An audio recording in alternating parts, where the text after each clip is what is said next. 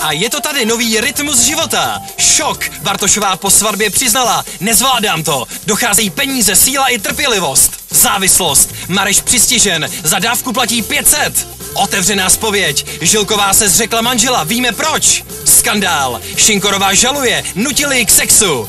Přísně tajné, když muž s mužem snídá. Exkluzivně. Rotrová na vozíčku. Nic mě nezlomí. To vše se dozvíte jen v rytmu života. Milionovém časopise za 20 korun.